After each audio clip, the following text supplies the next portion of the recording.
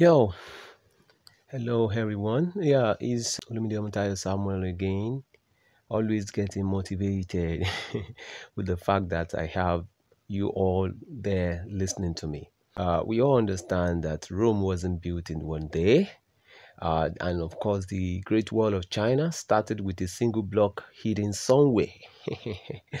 wow. So, the same way, with persistence, good thinking, and timing, well, we create our own glass house, our own opportunities.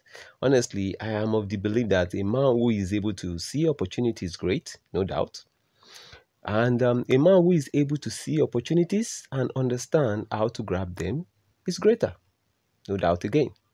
However, a man who is able to create his own opportunities is the greatest. is the greatest. So people say opportunity comes once. Nah, no, I don't believe that.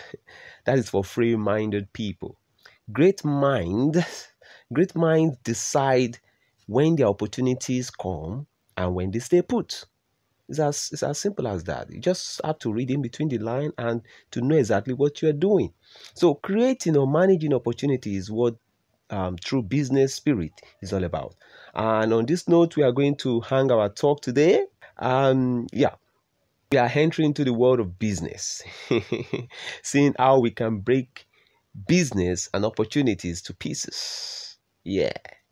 Once again, I'm Olumide Omtayo Samuel, and I'm here to talk on the topic business first course. Business first course. With a tag on how not to run an unsuccessful business.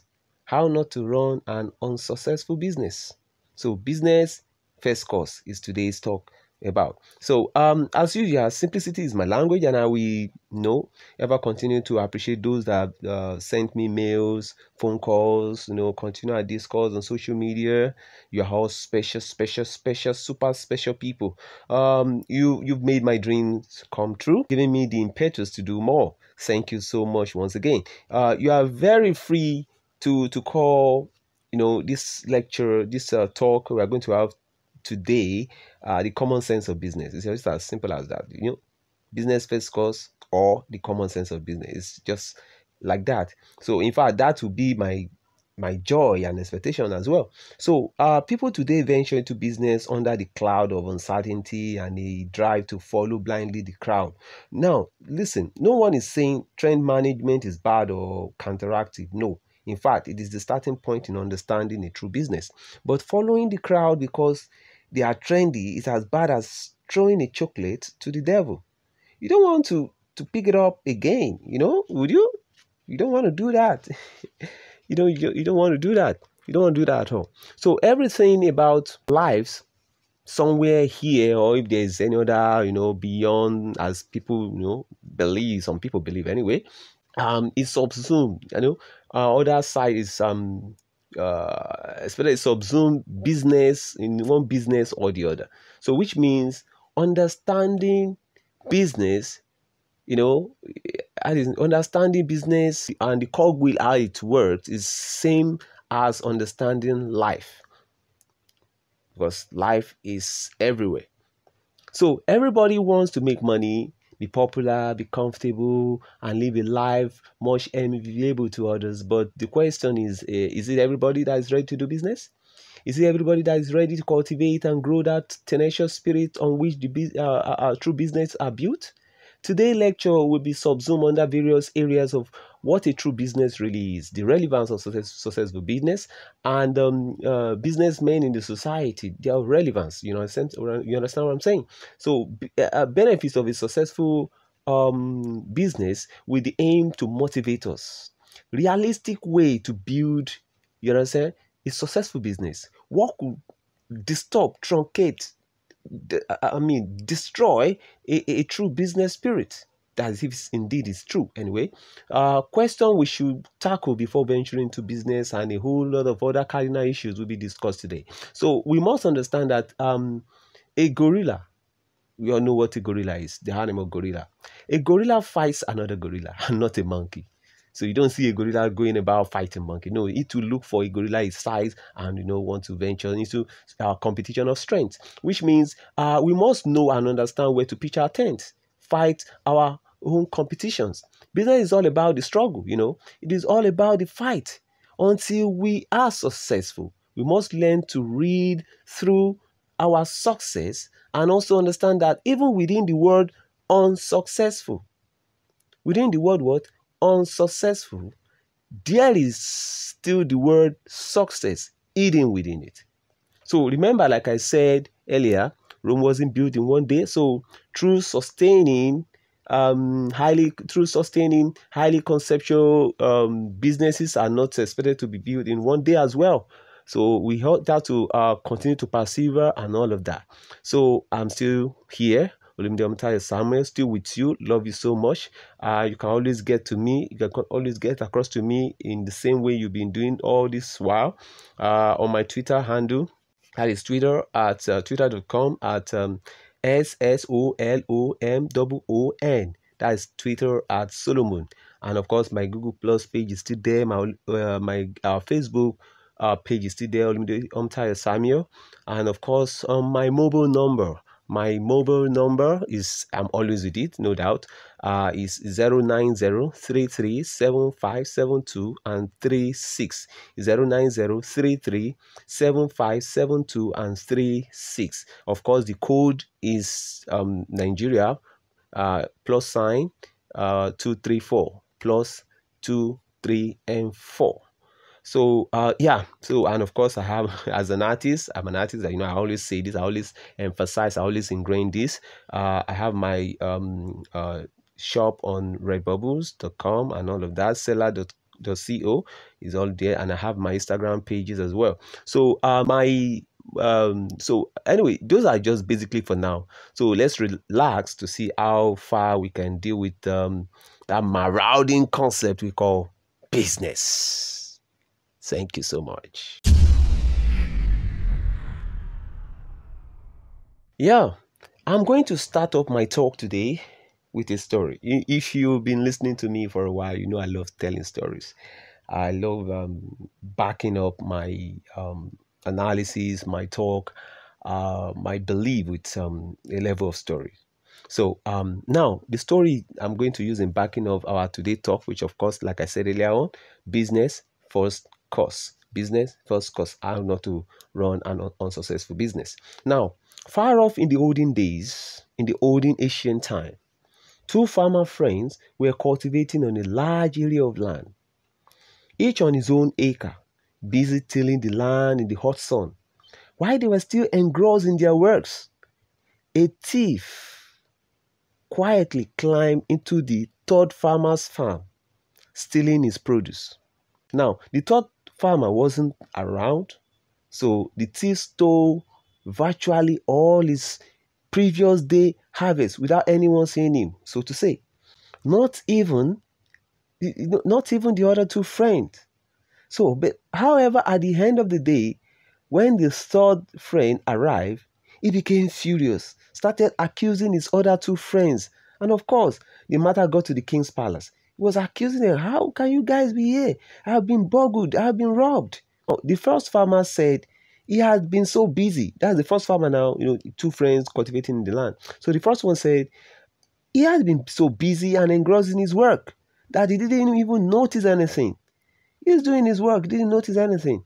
So, however, the entire the entire people that were, you know, the, uh, uh, uh, um, that were at the king palace were shocked. All of them were shocked when they asked the second farmer if he had noticed anything, and he said uh, he not only noticed um, the thief or whatever happened, he, it's not that he just noticed it, but he saw the thief glaringly. He saw everything from A to Z and could even name and he could even name the items that were carted away. So uh, he could name those items the thief stole one after the other and you know in the space of time they, they were being offloaded off the third farmer's burn before sneaking away you know, all of what he packed in, in, in, in, in a kind of a cart that he brought with him And in fact, he can even tell that he knows, he can even describe the footpath the thief took to, I mean, escape from the third farmer's um, farm. The entire people in the court, the court was silent, no doubt. And um, the, king, the king was deep in thought. Then the entire people were like, what is going on here? Then one of them said, then you second, you this second farmer, you are an accomplice of the thief. If not, you would have alerted the first farmer, and together you two of you would have stopped him. You would have, you would have, you'd have like, you know, you you would have done something about that. You'd have apprehended the thief. The second farmer refuted, and he refuted. I said, no, I'm not an accomplice, and I'm not to blame for that. And there was a slight argument between them, you know, some of the people in the, the however, the, the, the king was silent and was thinking about this thing, you know, was thinking. Then he spoke after a long thought. He said, You first farmer. He asked him the question, starting with the first farmer. I said, Hello, mister, you first farmer. How many ridges did you make that um this um um today? I mean, of course, it happened that very day. How many ridges did you make today? The first farmer responded, Sir, it's 200 ridges, Your Majesty. There's a 200 ridges. Okay. Okay, that's not that's not bad. That's okay. The king asked the second farmer the same question. And he also said 200 ridges. So as a wise man he is, that is the king now, he continued, if you so much see the thief, why didn't you apprehend him? He was asking the second farmer now. You know, unlike the other people, they were shouting, you know, going into a kind of, you know, here and there, uh, um, blame flying here and there, a lot of that. The king wasn't like that. He's like, okay, now, if indeed you have seen all of this, what the thief, you know, did and all of that, and the way he carted everything away. So, uh, why didn't you apprehend uh, apprehend him anyway? So, um, the second farmer said, Your Highness, that's if I if I that act alone, that act of making the noise and trying to apprehend him would have disrupted my job and target of making 200 ridges in that very moment. This to very today, you would have stopped me. I won't be able to do my job. Then the king asks, the king asks again, Are you not a friend of the third farmer? The man answered, Of course, sir. I am his friend. And I'm ready to assist him because I can recognize the thief and I can take anybody, take you and anybody straight to where he is. However, the chiefs and other people in the court continue to like accuse him sort of for being a wicked, insensitive man. But the king said authoritatively afterward, Quiet, every one of you. Quiet. This second farmer is a better man. All of them were like, uh, Sir, Your Majesty, we don't understand. Everybody was shocked. They said, they were like, How? He said, but he, he, said, he never did anything to stop the thief. He said he only stood and watched his friend being robbed, claiming that he cannot stop his own job. He said, Yes, the king continued. Yes, he's a better man. Because why? In this village, we want, you know, there's there's there's saying that an idle hand is the devil's workshop. He loves his job. This second farmer loves his job to the extent that even a thief's activity cannot deter him from doing it. And because of his careful observation, because of his careful observation, observation, we are not just stopping the thief, but stopping stealing in the land. And in one burst of anger and authority, he stood now, since you can recognize the bad egg in our midst in this in this village, it is now our turn to finish the job, the good job you have started. Let's go and what? Apprehend the thief. wow, that is it. That's the story. Now, to the moral of the story. To the moral of this story. Number one, from this story, what are we able to get out of it? Number one is this. You have to love your, you know, remember we're talking about business, right? We have to relate it to business. Now, number one thing, you have to love your business so much that nothing deter you from it. Whatever business you've chosen to do, whatever service you've chosen, you've decided to render. You must love your business so much that nothing will deter you, distract you from doing it. Because you sooner succeed, you will succeed in what you love doing than what you don't love doing. So have a business you love so much. Number two, moral. Number two is this be conscious of your environment. Be conscious your environment. No matter how you get involved in your business, no matter how you love your business so much, be conscious of your environment. Know what is happening around you. Be up to date and proactive because business, like people, could become sickly, needing a fresh injection of newness. That's why we're talking about trendy. You understand? That's why you must talk about what is trendy. What exactly is is is is in the polity? What exactly is is around that can boost my business, that can give me that impetus, that can give me that popularity beyond, above my competitor, my competitor or my competitions. Number three, number three is this: be ready to help. That's one good thing. Be ready to help. Who knows, you might be on the receiving end some other day. And remember, he who teaches others to succeed, he who teaches others to succeed, teaches him or herself to master the art of success. To, master, to, to master the, the art and even science of what success. So those are the three wonderful lessons that we can bring out of that story. Now, what is business? Interestingly, if you ask people this question, you're bound to get answers from all walks of life. You will have some that are quite conceptual, like um, nothing short of the four walls of a university, and still you will get some answers that are nothing less of you know too simple, if you, if you know what I mean. But the most interesting point is that all of them will be making one point or the other, depending on the areas you've chosen to see it. Now, business is everywhere. Everyone has got a business one way or another, or one, one way or the other. And in this light, we can simply define business as the art and act of providing for or filling a certain life need in exchange for something. Business is basically defined as the art and act of providing for or filling a certain life need in exchange for something. I don't know what that thing is. Maybe it's money, maybe it's for whatever it is, maybe for a kind of service or whatever. But in exchange for what? Something.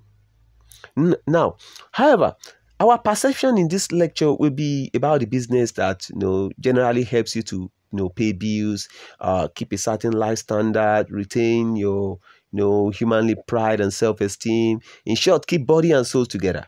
So, in other words, the kind of business from where you earn money and other means of livelihood. Although, on the larger sense, people have different reasons for going into business anyway, and um, this reason must be well respected as well. So, as simple as it is, um, if we engage the process of um, certain products or service or services to earn and sustain ourselves, we will say we are in business. But then, how do we qualify our business?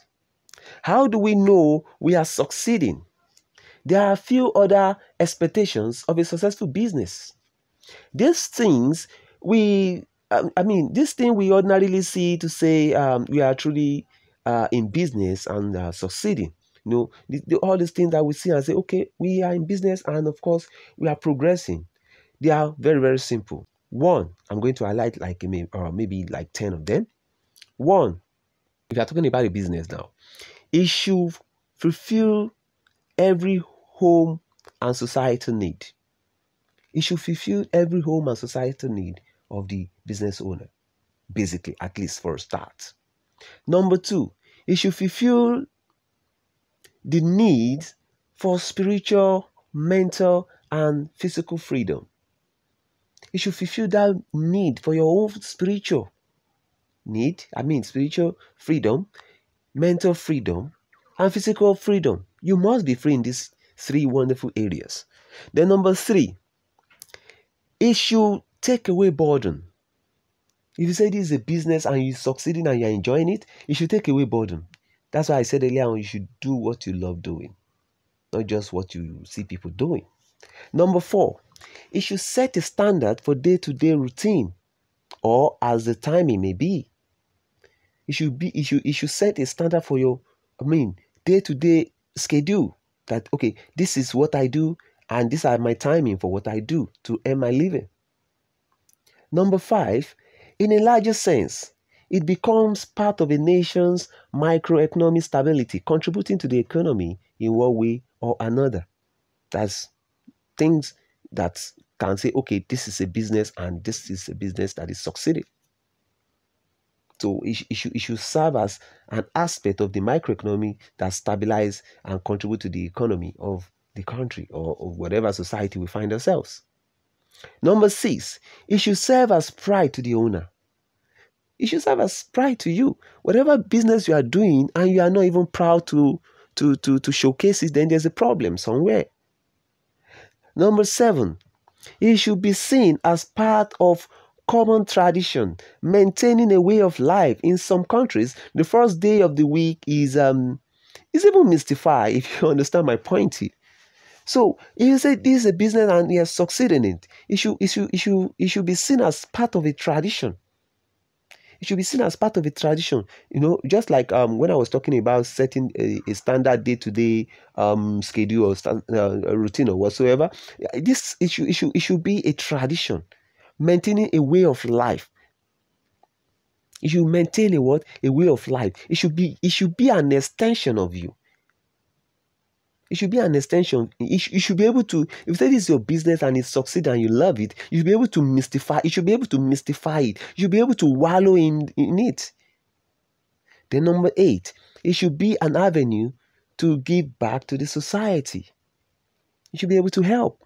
You should be able to lift others up. If you are not able to lift others up in your business, I'm sorry, something is wrong. Something is wrong over there.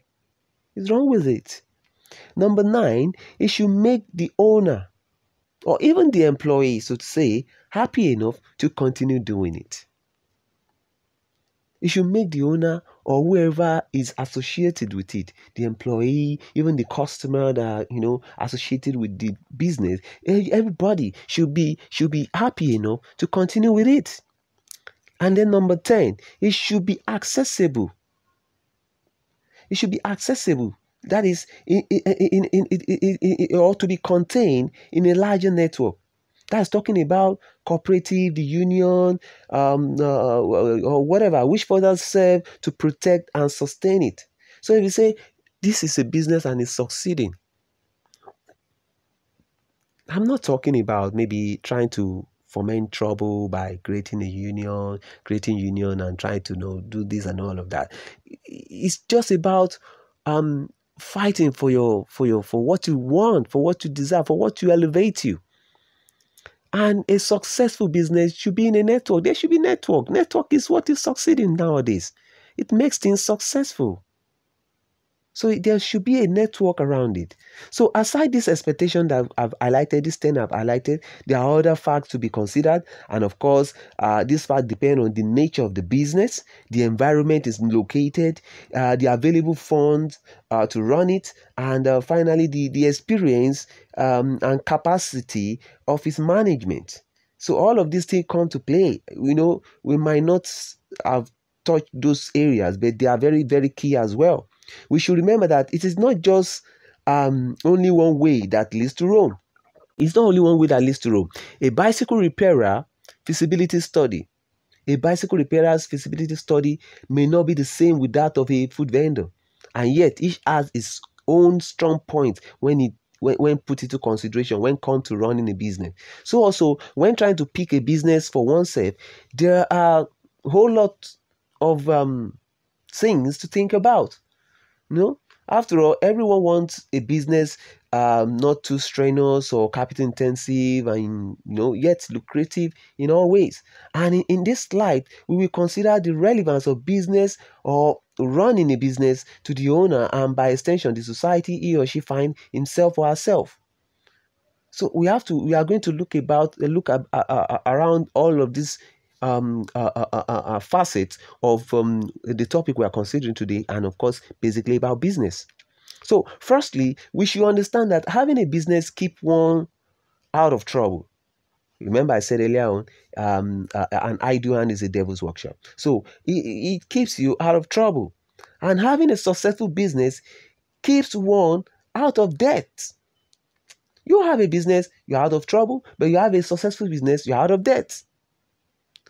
So, although we can't dismiss the fact that, um, uh, strangely, uh, one of the qualities of a successful business is the ability to be able to secure loans. You know, I mean, so to say, you able, you have, you know, you, you see, I know some people may want to take me up on this. That okay, if you if a business is actually successful, should you now start sourcing for loan all over the place? No, no, no, no, no. I'm not talking about. When I say your business should be successful enough to have the ability to be able to secure loan. It means it's it's it's it has it's it has this this uh, this um uh, how would I call it now? It is strong enough that if as the owner you want to seek you want to seek for loan, you you you you you you you you have every there's every reason for you to to secure the the loan.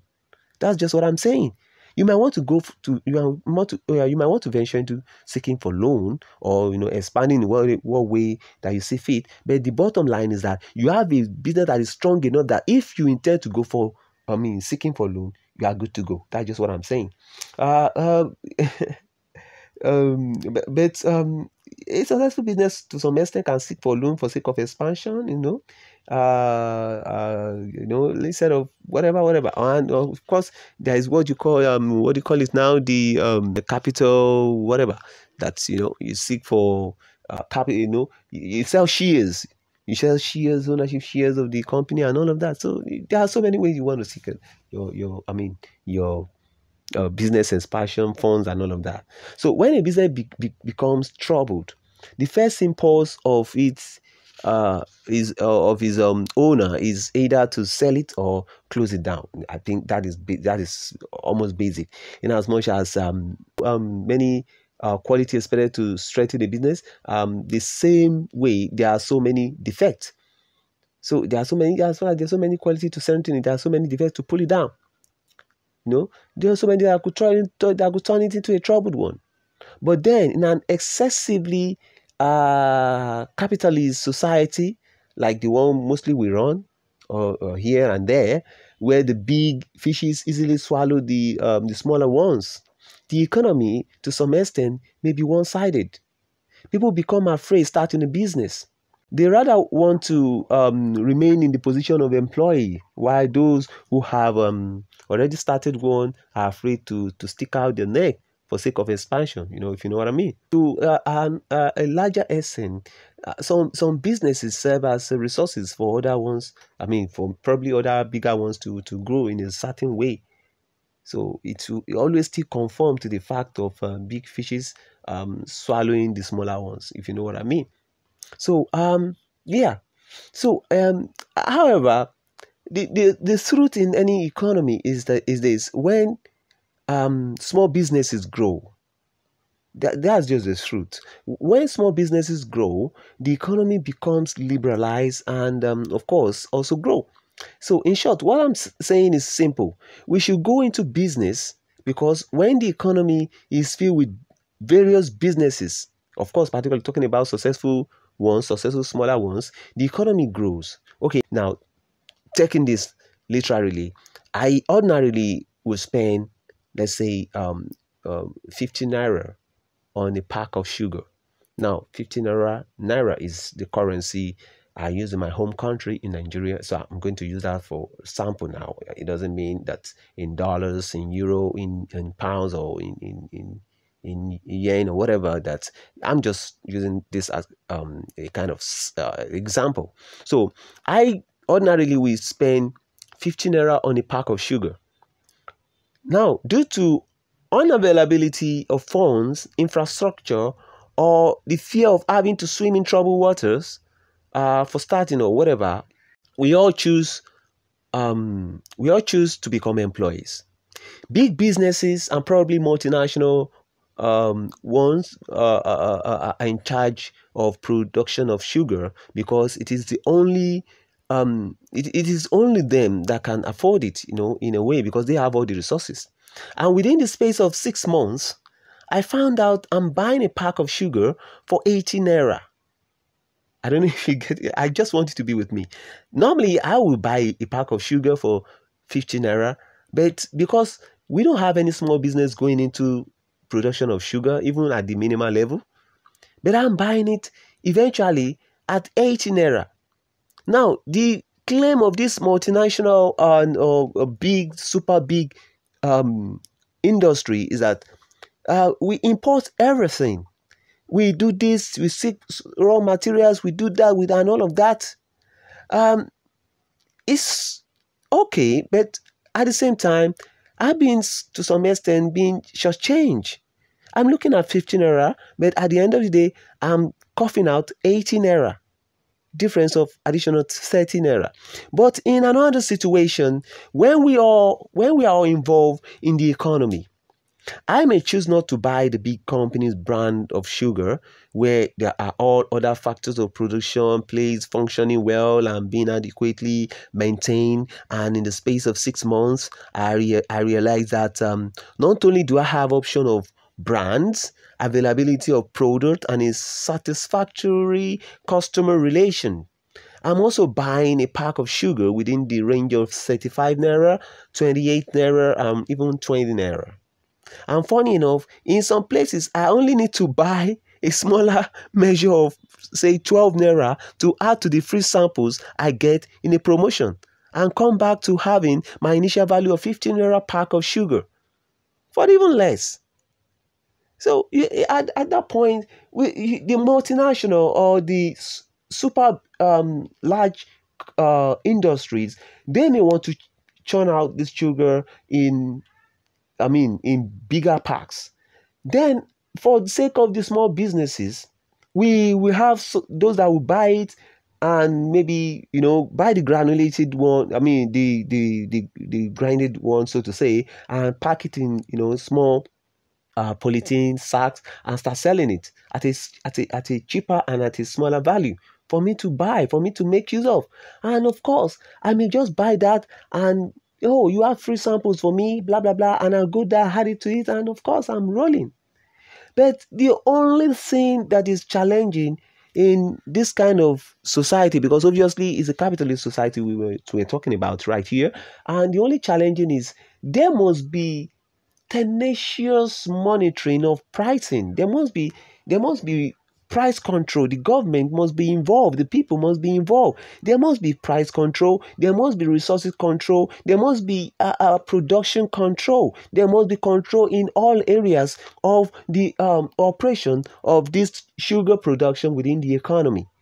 It's as simple as that. So once there's checks, once there once there are balances, once once there's control, once there's once there are regulations, then we all enjoy the economy. The bigger ones will not fry out the smaller ones for eating, and of course, the smaller one will be able to look the bigger one in the face and say, "Wow, you succeed in this environment, in this economy, in this society. I'm also going to succeed." It's as simple as that. So, in all facets, the economy is beneficial to all except the big and the multinational to some extent that you no longer have the opportunity to claw my limited resources from the on, um, from me so trying to analyze how relevant having a business is to uh, is to an individual society at large is trying to analyze the economy itself. Secondly, when we talk about maintaining a business, or better still, uh, someone who is about starting one, it will sorry, it will only be uh, far better when we stretch that is when we stretch wider our net of analysis or feasibility study. It is not only government government laws and policies on the economy, uh, the, the, the politics of, of, the land, the social infrastructure, the, the role and rules of law uh, of the land that solely determine how our business will truly fly.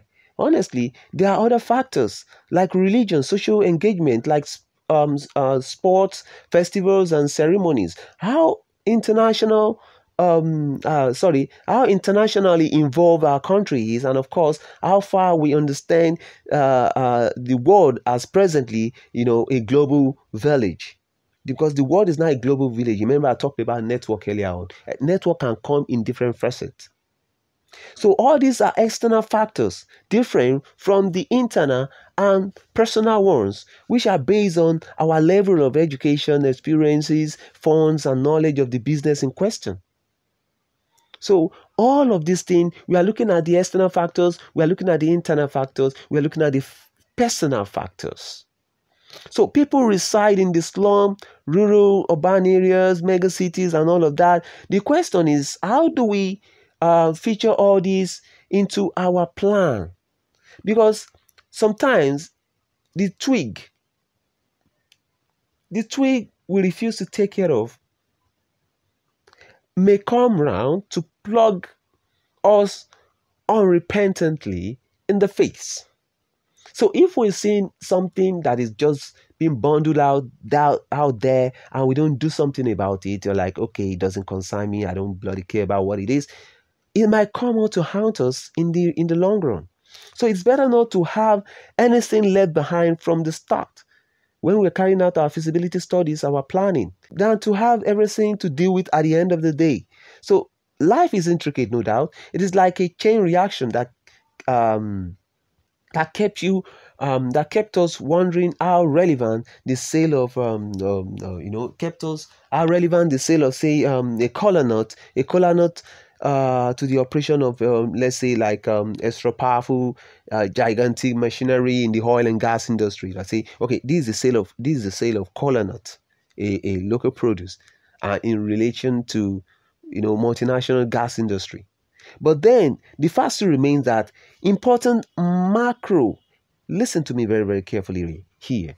That important macroeconomic policies are most times channeled from the microeconomics ones. I will say that again that important macroeconomics policy, uh, policies are most times channeled from the microeconomics ones within the state and vice versa. And even vice versa. So the same way the micro affects the, the, the, the macro, the same way the macro affects the micro. So, like I said earlier, it is all intricate, like a chain reaction. One eventually affect the other, and that's why we must thoroughly understand that the business of running a business is indeed a very serious business itself. Thank you.